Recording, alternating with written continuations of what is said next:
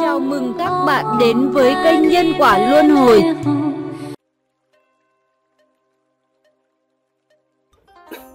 Cứu người mà không sát vong Khóa tú chỉ có 7 người, trong đó có hai tú sĩ đã xuất gia từ tuổi nhỏ. Còn lại là nam cư sĩ. Cả đoàn lặng lẽ lên núi, tú nhờ nơi gian nhà tổ của một ngôi chùa. Chùa xa và nghèo, nên chùa vắng. Thuần tiền cho khóa tập, chỉ chỉ không có người phục vụ nên đoàn phải mang theo lương thực, thực phẩm đủ dùng cho hơn một tháng. Mỗi ngày công việc chính của đoàn là bốn thời, thiền tòa, mỗi thời khoảng 2 giờ. Thời gian còn lại dành cho việc chẻ củi, nhặt rau, bếp núc, nghĩa là không có thời gian trống. Khoảng giữa khóa thiền một hôm, có một đối vợ chồng đến gặp thầy dắt theo người con gái để nhờ thầy trị bệnh. Không biết do đâu mà dẫn đến việc nhờ trị bệnh này vì khóa thiền diễn ra rất âm thầm. Người con gái khoảng hơn 20 tuổi, sắc mặt hồng hào. Không có vẻ gì là người có bệnh. Bệnh theo lời đối với chồng nói là không hiểu sao ngày nào người con gái cũng múa hát cười cợt lung tung nhìn chăm chú người con gái chơi lát thầy hỏi có phải cháu thích ăn bánh kẹo và cứ chiều chiều là cháu mới lên cơn phải không đối với chồng thưa, quả thế thật. Cháu còn thích mặc quần áo đẹp nữa. Gia đình đã đi tìm thầy chữa hơn 3 năm rồi. Mà thầy nào cũng lắc đầu. Nhờ thầy làm ơn làm phước. Thầy bảo hai vợ chồng đứa cháu về, vài hôm sau sẽ gặp lại.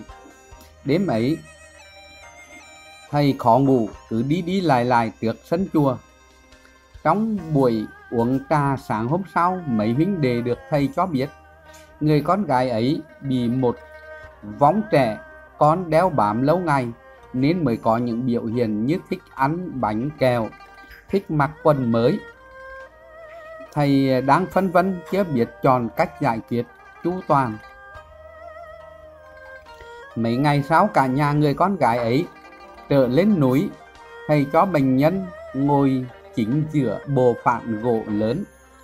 Đặt bên phải gian nhà tổ hai bên phía sau bệnh nhân, thầy bảo ba huynh đệ cùng đặt tay lên lưng và hai vai của người bệnh. Thầy ngồi đối diện với người bệnh, thầy bắt đầu ấn. Lấm rấm trì chú rồi nói lớn, đi đi ra khỏi đây ngay, đi mà tìm nơi tu tập, nếu không tá sát.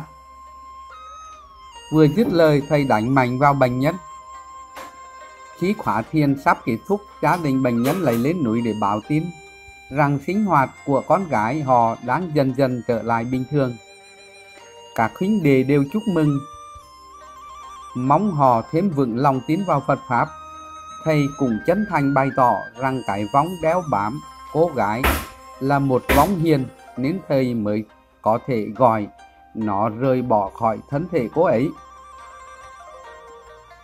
Và điều khiến thầy phải đắn đo khi trị bệnh là làm sao vừa giúp được bệnh nhân mà vẫn không làm thương tổn đến cái vong ấy. Bởi vì nó cũng không có ác ý làm hại người bệnh, nó cũng chỉ là nạn nhân của chính những nghiệp quả đã gieo đang trôi lăn trong dòng luân hồi u u minh minh bất tận thầy lưu ý cho tất cả các huynh đệ hiểu, nhận thức sâu sắc rằng mỗi một ấn quyết và thần chú đều có công năng riêng nhưng điều chủ yếu là phải dùng tâm từ để điều khiển khi sử dụng ấn chú vào những mục đích tốt đẹp nhằm cứu giúp người khác. Nếu đi lệch khỏi động cơ và mục đích ấy, mọi việc làm đều trở nên vô nghĩa, vô ích và có hại cho bản thân. Vì nó chỉ làm tăng thêm cái ngã mà thôi. Và điều quan trọng nhất đối với mỗi con người trong việc nhận thức về những thế giới tồn tại bên cạnh đời sống hàng ngày của con người là sự tôn trọng đối với họ. buổi sớm mai, tiết trời xe xe còn lại mãi trong sâu xa của tất cả hình đề ngày ấy là hình ảnh thầy vừa nướng tách trà nóng vừa từ tốn. Đức khổng phú tử đã từng dặn rằng, kính quỷ thần nhí viện chi. Đối với quỷ thần thì kính trọng, nhưng phải nên tránh xa ngài còn nói, đào thính nhí đô thuyết, đức ký khí giả. Luận ngữ. Có nghĩa là những kẻ vừa mới nghe giảng đạo rồi, bí thuật lại liền sau đó, thì xem như đã bỏ mất cái đức nơi mình.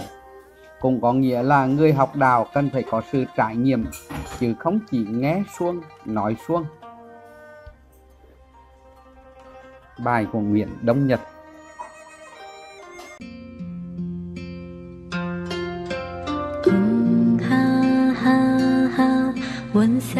Pati Sa.